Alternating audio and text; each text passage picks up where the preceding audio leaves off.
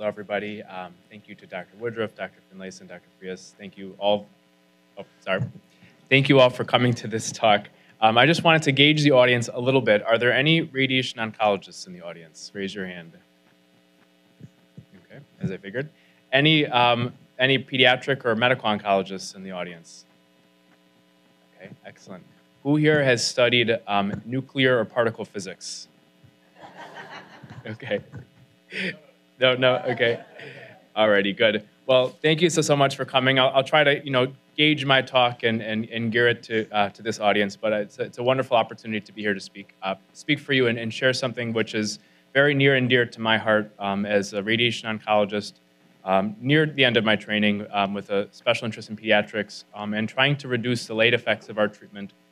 I mean, I think um, we'll, we'll talk about this a little bit more, but you know, for an oncologist, the ultimate failure is to cure a patient of their disease, but destroy their life, um, you know, the long-term survivorship in the process. And I think that that's something which has really motivated me and inspired me, and I think that we all kind of share that vision, and that's why we're all here today. So the topic of my, uh, of my talk, the next uh, 30 minutes or so, is looking at advances in pediatric radiation oncology.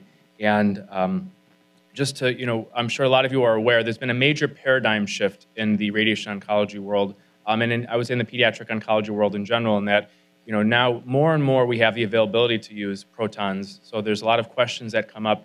Uh, is this something that can be utilized to spare certain kind of side effects for our patients, and, and fertility and reproductive health being definitely uh, among those.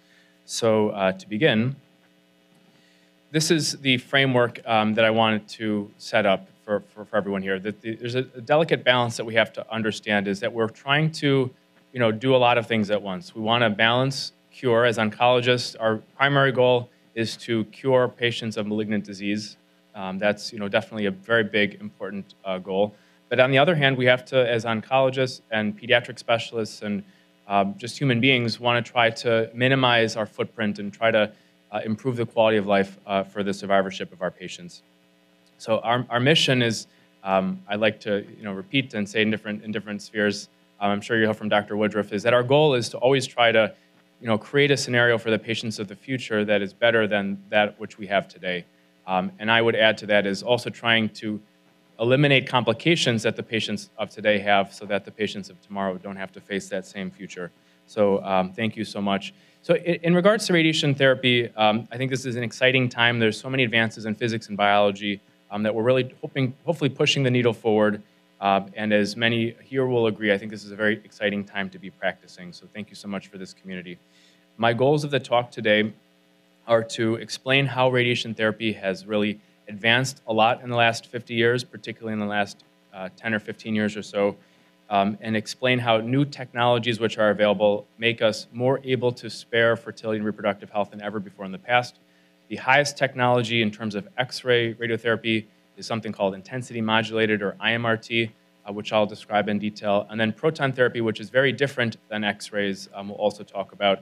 And I want to get a little bit into the physics and biology. I'll try not to, to bore you guys too much, but because uh, it's important to understand the differences between X-rays and protons, um, both in terms of their physical properties, because that affects their dose distributions and how we can utilize them um, for our patients, but also the biology, because I think that's that's a big issue um, and something that we we tried to um, explore and definitely needs a lot more work to understand the unique biology of these different um, modalities and how they might impact reproductive health.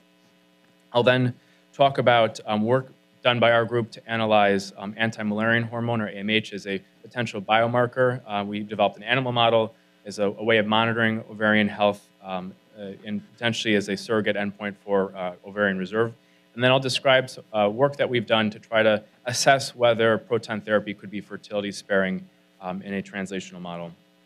So to kick off, I'm sure everyone in this audience or the majority are familiar with the Childhood uh, Cancer Survivor Study. This is um, you know, a large uh, cohort study of uh, you know, about 35,000 patients. Um, initially started in 1994, but um, and patients were diagnosed between 1970 and 1999. Um, and this cohort also contains 5,000 siblings uh, for their comparative group. So I, I, think it's, you know, I wanted to talk about this because it's important to understand the context. There are, you know, thinking about, uh, you know, children, uh, girls, young women um, is sort of been my focus, but this obviously applies to boys and young men too. But uh, there's about 80,000 girls and young women diagnosed with cancer each year. And based on the childhood uh, cancer survivor cohort study, we, we know that decade by decade, we've really been doing much, much better in terms of curing these patients and increasing their long-term survi survivorship. So at the same time, that's a wonderful, and we can pat ourselves on the back and be very happy about that. But at the same time, we need to be very mindful then of what kind of a, a reality are these patients now being faced with in terms of the toxicities of their treatment, um, and how, for, and particularly for our interest, how does this, you know, survivorship and the treatments they've received, how does that impact their long-term reproductive um, hormone production, fertility, and other issues that might result from their treatment? So this is an interesting study from the, the childhood cancer survivor study cohort. They were looking at the incidence of uh, significant chronic health conditions in survivors and breaking it down decade by decade showed that um, you know, go from the 1970s, 1980s, 1990s, there was a decrease in the chronic late effects of the cancer survivors, which you would anticipate. You know, there's a lot has changed since 1970 in terms of the way that um, you know we treat cancer. Chemotherapies have been developed. Um, you know, we're better at diagnosing cancer. The radiation has changed a lot, as I'll describe in detail. Looking specifically at um, gonadal dysfunction. So in this study, it was defined for boys as testicular hypofunction or azoospermia. In girls, it was defined as post-ablative ovarian failure, premature menopause, or female infertility. And as you can see from 1970 to 1979, you know, so each year they showed a decrease in the incidence of chronic um, severe, you know, gonadal dysfunction. And if you, you know, read the paper, the authors, you know, hypothesized that one of these reasons might be the decreasing utilization of pelvic radiation therapy. So I'll admit that that's probably in part true, um, but to be fair to my specialty, I think a lot also has changed since 1970, which is um, probably contributing. So even for those patients who are receiving pelvic radiation therapy out of necessity, there's a lot that's changed since 1970, which could also explain this trend, which I hope to describe a little bit now. So to understand the historical context, this is a typical pelvic, um, you know, or nodal port for a patient with Hodgkin lymphoma. So imagine the 1970s, we don't yet have, we don't even have computed, computed tomography. So we're just using plain films for defining our treatment ports.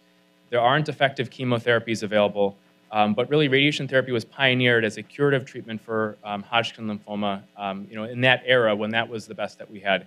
So kind of imagining um, the, ty the, type of treatment port that was utilized in, res in respect to the uh, female pelvic anatomy, you can see that the ovaries were receiving high doses of radiation, and as a result, these patients experienced a significant amount of ovarian dysfunction and and reproductive dysfunction.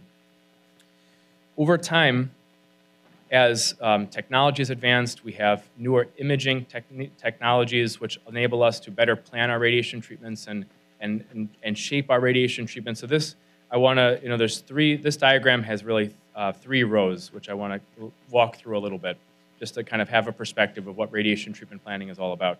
So on the top row is showing, um, what would, you know, think of that as like the Hodgkin lymphoma field, where you just have two beams, one going straight at the patient, you know, one coming from the reverse side, and it's the type of dose distribution that that creates is, you know, pretty homogeneous, but it's it's sort of giving a high dose to a large area of tissue, and you know, if the tumor is somewhere, you know, in the middle of that space, you're really not getting such a good bang for your buck. Is that you're you're giving high doses of radiation to a lot of tissues that don't need that radiation and causing side effects as a consequence.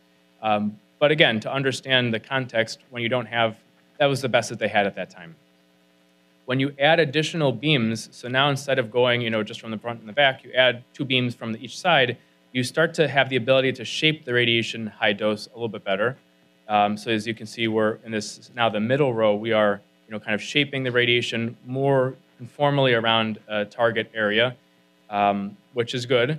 But at the same time, you can see that we're starting to expose a lot of surrounding areas, more so even than when we were just using two beams, to low doses of radiation, which, you know, kind of depending on the organ that we're talking about, um, you know, may or may not be important. Um, but, uh, you know, kind of in general being more conformal. Now, if you move to when there's even more beams, or to um, oftentimes what's utilized now in terms of um, intensity modulated radiation therapy is imagine you have a, a 360 degree arc that goes around the patient the, the radiation beam is on that entire time, but we use technology and computer systems to kind of think of it as like shaping the radiation dose. We are you know, trying to keep doses to particular target organs as low as possible while delivering the most conformal uh, you know, high dose of radiation to the target. So even more so than with four beams, we're sort of spreading around this low dose bath. Um, and this is all with X-rays, and I'll kind of get into that in, in a second. But you know, imagine we're spreading this low dose bath around the pelvic tissues, and um, so you know that could decrease certain complications in terms of the bladder and rectum. Definitely can tolerate this kind of treatment a lot better. But when talking about sensitive um, tissues like the testes or the ovaries, um, this you know, again, is the best that we have in terms of we've definitely made a lot of progress, but it might not be good enough, um, as, as we'll go into. So this is what's called a depth dose curve, and I, and I want to go into this to describe a little bit about the physics of X-rays and kind of why this phenomenon occurs. So here you can see that um, this is showing the relative dose on the y-axis and the tissue depth on the x-axis. And imagine you are trying to aim the beam at a target and you have some normal tissue like the ovaries, which are kind of distal to that target, um, and, and, this is representing what the X-ray does. So as it's entering tissue, you know, imagine this kind of beam of an X-ray traveling along. It's sort of building up to a, couple of centimeters depth in the tissue. It kind of hits its maximum um, dose deposition and then starts to trail off as there are fewer and fewer interactions that are going on with the target tissue. Um, so this this enables us to give, you know, kind of high doses to, the, to a tumor, um, and, you know, relatively speaking, a lower dose to some normal tissue like the ovaries. But um, as, as, I'll, as I'll mention as we go along, um, it, it's, you know, if we're giving a curative dose of radiation, that lower dose of exit dose is still going to impact normal tissues like the ovaries in a way that's unavoidable. So um, that's really the issue with um, X-rays. Furthermore, um, ovarian tissues we know to be extremely sensitive to radiation. I'm sure as this audience is well aware. There was seminal work done um, by uh, Dr. Wallace and his group that showed that um, the uh, LD50 or the dose of radiation that's anticipated to destroy 50% of the ovarian primordial follicles, which we believe to be the, you know, that's the pool of ovarian reserve that we really want to try to be protecting, especially in our pediatric patients when we're thinking about their long-term reproductive health. They found that the LD50 for the oocyte, the primordial follicles, was about 2 gray. So if you think about that in context, so if we need to prescribe somewhere between 50 to 70 gray, or um, you know, if you think about it in terms of um, centigray or rads or um, 5,000 or 7,000, um, that's a very hefty dose of radiation. And if we need to um, try to avoid giving anything you know, between 2 gray or higher to the ovaries, it's, it's a very difficult thing to do with x-rays because even if you're able to reduce the dose to say, you know, 10% even of what you are prescribing to the tumor, that's still a higher dose than those tissues can tolerate. Um, and that, that therefore would explain why, you know, up to 97.5% of patients experience um, ovarian failure when high doses are prescribed to the ovaries. But even patients who are receiving, you know, with intensity modulated radiation, getting a lower dose to the ovaries, a significant number of patients will experience premature ovarian failure. And likely the reason why that is is because we've reduced the ovarian reserve even from lower doses of radiation therapy, and therefore, uh, you know, the, the gas runs out sooner. So as we move on to discussion of protons, I want to set up this picture here. Is, you know, it's important to understand that X-rays aren't the only way of delivering um, radiation therapy. There's a lot of other things that are out there. You maybe have heard of carbon therapy that doesn't yet ex exist in the United States. There are centers in Asia and Europe that are using carbon therapy, but uh, and protons you've probably heard of. But the idea is that there's a lot of different kinds of, of, of uh, particles or types of radiation that can be used for treatment of cancers. Um, you know, and they all differ based on their physical and biologic properties. So this is a, a way of kind of viewing them all in context. So on the uh, x-axis, you have the quality of the dose distribution. So that um, X-rays are kind of circled here in the middle. These um, have an average quality dose distribution. And what that means is that we are able to use technology to sort of shape them a bit and do better than we could if we were just, you know, and we did in 1970, say. But we, there's, you know, we're limited by what we can do. And, and you know, there's, there's always going to be some exit dose that's going to normal tissues that are beyond them. Um, other particles, like protons, which have a positive charge, and, and we'll talk about the, how that impacts their physical properties in a moment, have a much better dose distribution because we're able to, to use that, um, the physical properties of the proton to deliver it in such a way that it can stop and not, not cause radiation damage to tissues that are distal to it. Um, and there's also um, LET and RBE are on the, on the y-axis. I'll talk about those more in a, in a, little bit. But think of that in terms of like the biologic impact. So again, not, not, only is, are, not only are different forms of radiation different in terms of their physical properties, they're also different in terms of their biologic properties. Um, and, and, we'll um, talk about that. So this is, in a simple way, describing what a proton interaction with matter looks like. It hits tissue.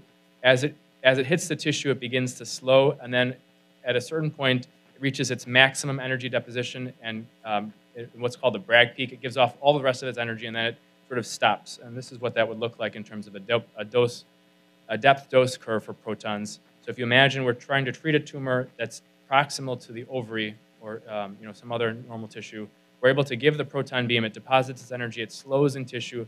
Eventually, it slows to the point where it delivers all of its energy in the Bragg peak. And the, ideally, that would be right where the tumor is. And then it stops very uh, speedily over less than a few centimeters. So in theory, we should be able to spare like the ovaries with this kind of approach. In practice, you know, we can't treat a this uh, we can't treat a tumor. I mean, this is a single proton beam. You know, no tumor is um, less than a centimeter in depth, you know, we need to kind of spread that out. So this is how it's done in practice. We add materials in front of the proton beam that sort of pulls back that proton, and we give, you know, repeated numerous beams of protons, um, and in doing so are able to kind of create what's called this, a spread out Bragg peak. So imagine you had a tumor. I mean, this is this is depth in tissue and, and percent depth. This is percent dose. So this is 100% dose going uh, for a certain depth and then it's able, it's able to, to rapidly drop off. So we're giving no dose to targets that are beyond that Bragg peak. And this is showing a comparison in terms of, so if you imagine, you know, the ovary is somewhere here. This is the progression from um, photons are another word for X-rays. So as we use technology to better shape the X-rays, we're able to get that high dose away from the ovaries, but not able to eliminate it entirely. And this is what prot a proton plan would, so this would be like for a patient with medulloblastoma, which is a, a, of, you know, pediatric cancers are not so common, but of the pediatric cancers, this is one that we would see often. And that these patients get what's called craniospinal irradiation. So that's what this would look like. And this is what we're able to do with protons, essentially give zero dose to things that are anterior to the spinal column. Um, and theoretically, this should spare the, the ovaries from any radiation damage. Now, in terms of the biologic properties of these, um, I'm going to discuss a little bit about what's called linear energy transfer, LET, and re relative biologic effectiveness, RBE. And um, it would seem from this diagram that you know the LET and RBE of X-rays and protons are pretty similar. Um, so let's talk about that a little bit. So as I mentioned, LET is a, is a measure of energy transferred per unit path length. And I guess a, a way of, a simple way of thinking about this is it's the, um, the, the, uh, the um, I'm, I'm at a loss for words right now. It's the density of, uh, it's how densely ionizing is, that's the word I'm looking for, how densely ionizing is that kind of uh, radiation that we're using. So X-rays are sparsely ionizing, meaning they travel through tissue and they cause ionizations kind of sporadically, um, and, and, they're considered to be low LET, whereas the opposite end of the spectrum would be an alpha particle, so that's a helium nucleus. It's very high LET. It's sort of like the difference between a ping pong ball and a bowling ball. So like the bowling ball just shoots right through and causes ionizations, boom, boom, boom, boom, boom, boom, as it's going, and is very, it causes a lot of biologic damage. Whereas X-rays are kind of like the ping pong ball, like kind of getting scattered around, and where it hits, it's causing some damage, but it's it's not in a um, geographically confined space. Protons are kind of, on average, considered to be low LET, but as I mentioned, as they enter tissue, they're slowing and slowing and interacting more with that tissue and so the LET, uh, or the density of the ionizations for protons, increases as it goes through tissue and kind of reaches its, reaches its maximum point right where the Bragg peak is. So, you know, in theory, if the ovary were to be right behind where the tumor is, and we're aiming a proton beam right at that tumor and the ovary is right behind it, you know, you would think that the highest LET and potentially the highest biolog biological effect is going to be right where the tumor is. And that might, our concern is that that might spill over and, and impact the ovary in a way that is unanticipated and undesired. And this is just kind of to explain how this all fits together. So RBE is, is a way of describing the relative biologic effect. So uh, it's calculated by determining what is the biological effect for some test type of radiation like protons or neutrons or something else. And you compare that to the same dose of X-rays, what kind of biologic effect that you see. So if the RBE is 2, that means that for the same dose, the new, new type of radiation you're using is twice as effective. It has twice the effect. So that, that could be like, um, you know, primordial follicle survival. That could be any kind of endpoint, but um, basically for the same dose, how much biologic effect or damage is it causing? Alrighty, so now to move in a little bit into our, our research, um, we, uh, in order to assess uh, these kinds of hesitations, as I mentioned, we think that protons should have a better dose distribution, but might have a higher biologic effectiveness and might be, you know, actually more damaging and, and counterproductive. Uh, we wanted to test this hypothesis in an animal model uh, with the hypothesis that protons could spare uh, fertility in patients. Uh, we wanted to use a, a non-invasive biomarker for doing this, so we selected AMH. Um, and then we also wanted to validate um, our treatments by looking at ovarian histology and seeing what the impact on the primordial follicles was. So um, since ovarian primordial, primordial follicles, I would argue, is the primary tissue that we want to try to uh, test, and, and, really that's what we're trying to preserve, especially when thinking about pediatric patients. They're extremely sensitive to radiation damage, as I mentioned.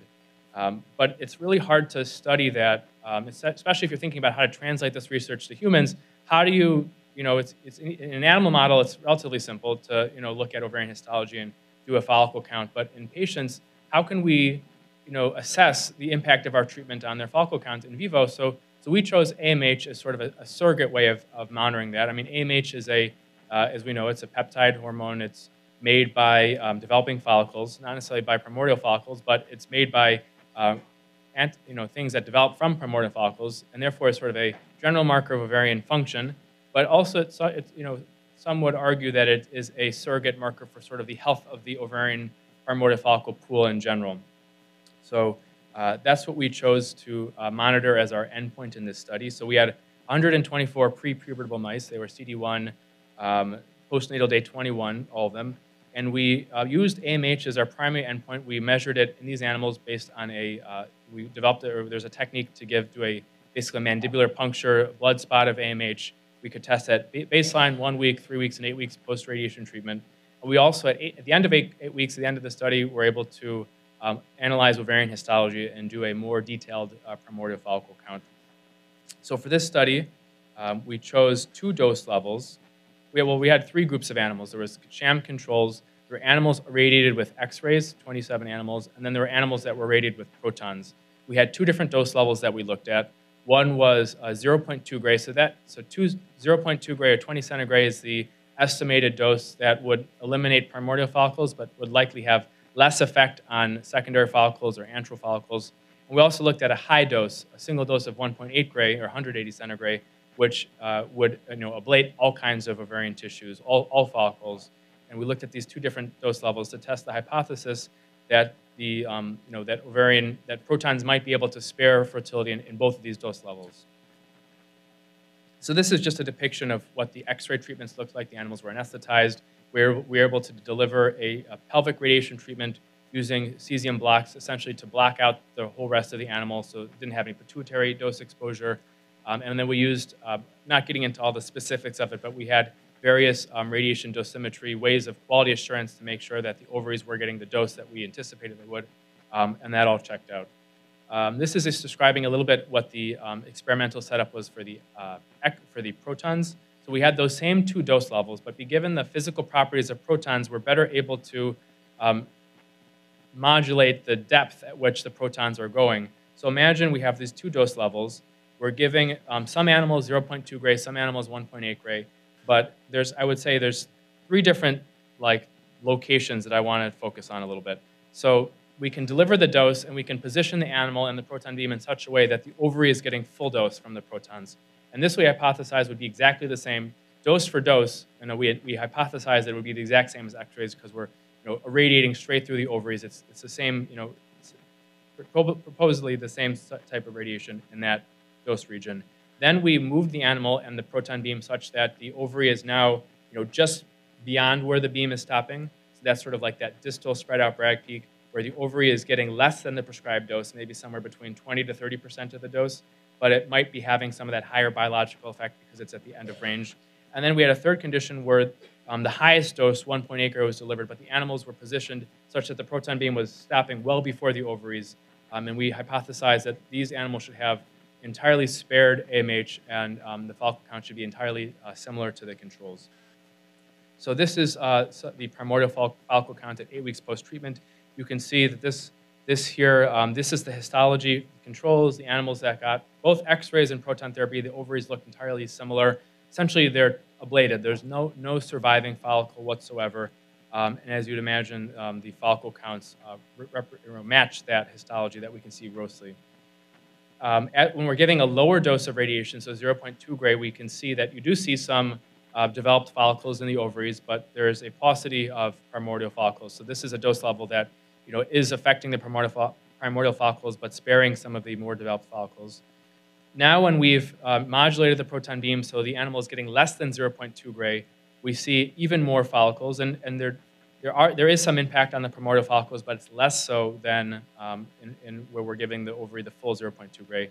And as was expected, and, and we were glad to see that when the animal was positioned beyond the proton beam, even with the highest dose, um, you know, the, oh, the proton beam did stop as we thought it would and caused no ovarian damage whatsoever. And you can see that on histology and in terms of the uh, primordial follicle count, no, no difference to controls. Now focusing on AMH. So um, I, you know, I, I, showed the picture of the actual gross histology of the ovary just to kind of help reference, but um, this graph is showing the AMH measurements at eight weeks post-treatment. So as you would anticipate, um, you know, if there, there are no follicles in the ovary, the AMH is uh, low in animals receiving the full dose of 1.8 gray. So this is 1.8 gray with X-rays or 1.8 gray with protons, but the ovary got full dose because of where it was positioned. Same thing with 0.2 gray, because there were some, you know, some primordial follicles that were spared and predominantly um, secondary and antral follicles that were spared with this dose level. AMH was impacted, but was um, still, uh, still measurable. Uh, when we moved the animals, well, so when we gave 0.2 gray, but put the animal ovaries in that distal spread out bragg peak. So these ovaries are getting somewhere between you know 10 to 15 centigray.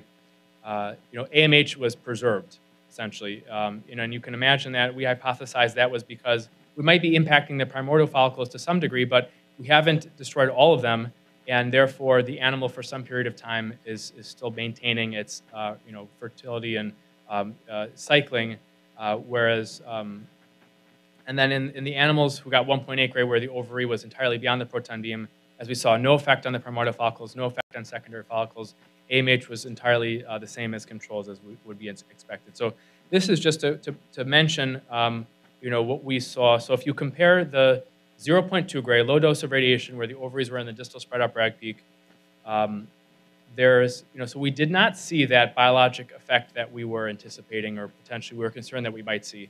So our hypothesis is that, especially, and, and there's other literature to support this idea, is that when you're talking about tissues that are so sensitive to radiation, this, this issue of biologic sensitivity is less of an less of an you know less of an important issue for them. It's more about the dose that matters. So if you're able to decrease the dose in whatever way possible, um, you're able you're able to decrease the effect. So um, this is just showing the primordial follicle count comparing 0.2 gray to 1.8 gray, where the ovary was beyond the spread out bragg peak.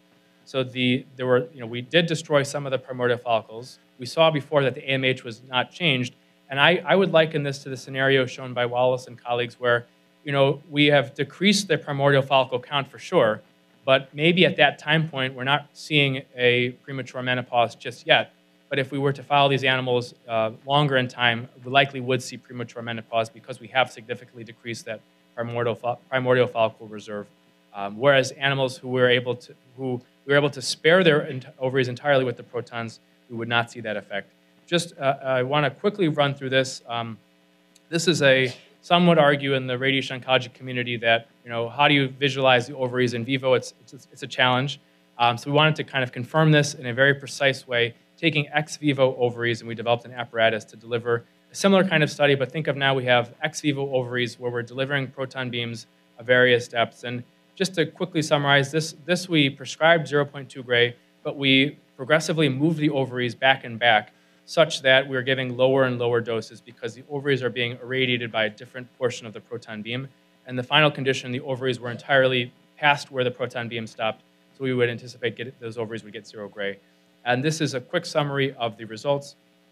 Um, you know, we saw, you know, what we would expect. This is um, on the, this is X-rays. This is 0.2 gray with protons, no difference. As we move the proton beam back, also significant primordial follicle depletion with a lower dose of protons because now the ovaries are in the distal part of that proton beam. But as we are able to you know, move the ovary away from the proton beam and the dose it's receiving is less and less, there's less impact until we get to the point where now the ovary is just a centimeter beyond where the proton beam is stopping. We see no impact on the ovarian primordial follicle. So this was very reassuring to us to say that you know, the, the proton beam is not impacting the ovaries. And this is just a, a quick view of the histology. So as you can see, 0.2 gray, the ovaries are getting full dose from the protons. You have a sparing, this is MSY2 staining, sparing of the central developed follicles, but no, essentially no um, cortical primordial follicles. But in the group where the ovaries were beyond the proton beam, you see no effect. So, um, you know, the takeaways from this is that proton therapy can be fertility sparing. Um, you know, as we know, the ovaries are very sensitive to radiation, and therefore, we can kind of think of the ovary and particularly the primordial follicle as a very sensitive biologic dosimeter. Uh, we know it's, since it's so sensitive, if, it's, if, it's, if anything is going to be impacted by the radiation, certainly the primordial follicle will be because it's so um, sensitive. AMH we found to be a good biomarker for the uh, overall impact of the radiation treatment, and we think maybe also a surrogate biomarker for ovarian reserve potentially, um, especially when looking at proton therapy where we think it should not be impacting the ovaries. Um, it's important to mention that all radiation exposures are potentially mutagenic. So this study did not look at, you know, so we saw that the primordial follicles had survived, but we don't know are they, you know, genetically competent and, you know, to what impact. Um, there have never been any studies to show, like in, um, you know, the um, Japanese atomic bomb survivors, never any data to suggest that the children of cancer survivors are at increased risk of genetic abnormalities, but that's something that needs to be explored further. Um, and then I, what I, what I want to end with maybe, and you know, put it back to this community, is you know, if we can use protons to spare the ovaries, the uterus, the vaginal tissues, and, and really kind of decrease our footprint from a radiation side, we, you know, that really kind of puts the responsibility on you guys. We need better agents. A lot of these patients are also getting chemotherapy. So we need ways of trying to block the gonadotoxic effects of chemotherapy. Becomes a much more important issue in that context. So um, I want to thank Dr. Woodruff, all of my team members in the, in the Woodruff Lab, Sarah Wagner, uh, Soyoun Kim, Allison Grover, and then the folks at the Chicago Proton Center, um, Gail Wolshak, and of course my family for all their support uh, through this work. Thank you so much for your attention.